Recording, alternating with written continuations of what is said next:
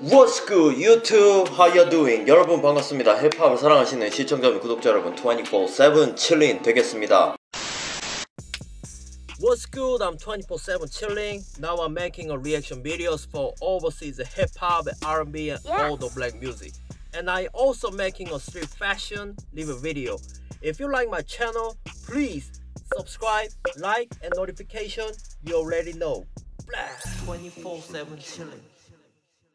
오늘은 저작권 문제가 있어서 영상이 차단당하지 않는 한 두 편의 태국 힙합 리액션 비디오가 아마 연속적으로 올라갈 듯 싶습니다. 첫 번째로 제가 리액션을 할 비디오는 요즘 많은 작업량을 보여주고 있는 GAVIN.D의 ชอบ RACKS입니다. 피처링 FIIXD 처음 본 아티스트가 있네요. JAOKHUN, DIAMOND, RachYO가 있습니다. FIIXD DIAMOND RachYO 다 저희 눈에 익숙한 이름들이죠. JAOKHUN이라는 아티스트는 처음 보는데 검색을 해봤어요. 약간 R&B singer and rapper 같은 포지션을 갖고 있는 아티스트인 것 같습니다. 잘 모르겠어요. 가사는 또 구하지를 못했어요. 구하지를 못했는데 이 뮤직비디오 분위기를 보면 가사 해석은 그렇게 중요한 부분은 아닐 것 같습니다. racks라는 말이 뭐 돈다발이고 ชอบ이라는 말을 해석을 해보니까 like이라는 말이더라고요. 뭐 돈다발들 같이 뭐 이런 내용인 것 같은데 아무래도 힙합에서 요즘 유행하는 이 making money, making money에 대한 내용들을 가사에 또 담고 있겠죠. 식스키의 producing이 또 빛나는 뮤직비디오인 것 같아요. ชอบ Racks, 가빈디, 픽스드, 자오쿤, 다이먼드, 라치오 리액션 비디오 시작합니다. Yo, okay, let's get into it. Yup, are you enjoying watching my video? Have you still not subscribed to my channel?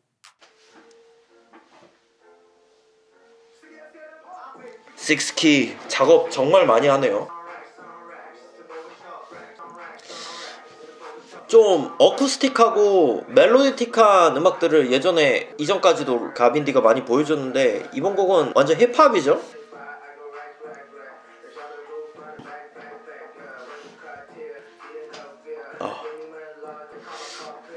언제부턴가 픽스드의 목소리가 굉장히 dope하게 들려졌어요. 약간 랩 스타일이 약간 변화가 있는 건지 아닌지는 모르겠는데 어, 왜 이렇게 dope하게 들리는지 이게 기분 탓인지는 모르겠지만 랩 스타일이 되게 많이 좋아진 것 같아요. 음.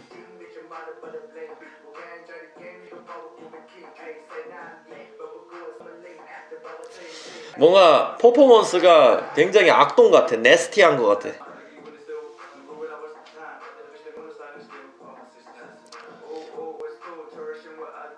약간 픽스드가 갱 같은 vibe면 가빈디는 되게 좀 모범생 같은 그런 느낌이 보여져요.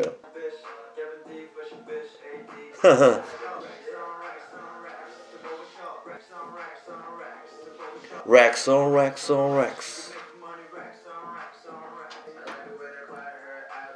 어?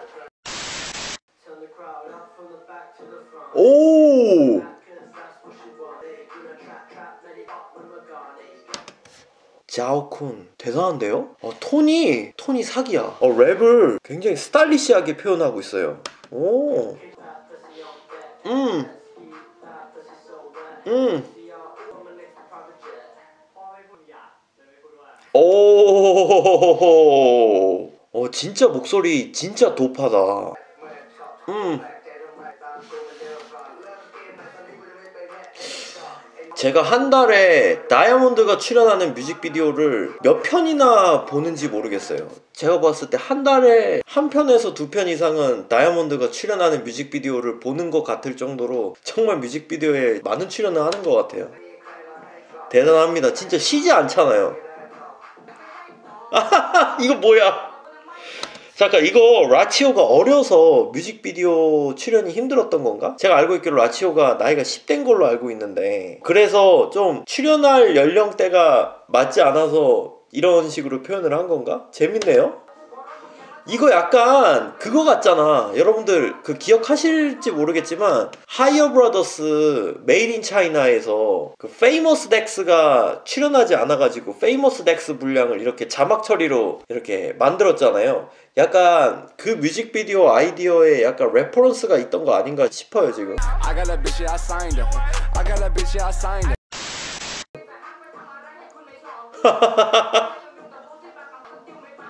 아 라치오 되게 좋은 기회를 놓친 것 같아.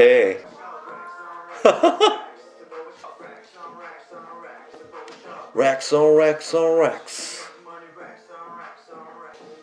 음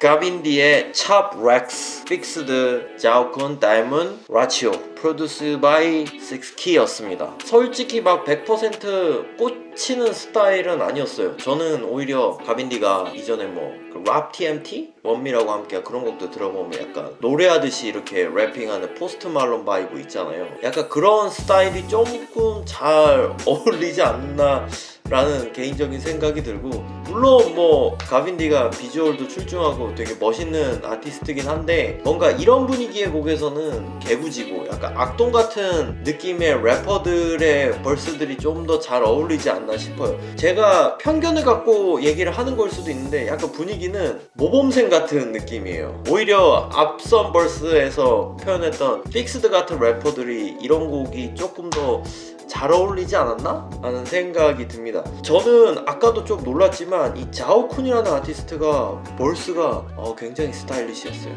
이 곡에서 저는 가장 최고의 벌스는 자오쿤 이 아티스트인 것 같아요. 이 곡에서는 이 아티스트가 가장 잘 어울리는 벌스를 들려주지 않았나 싶어요.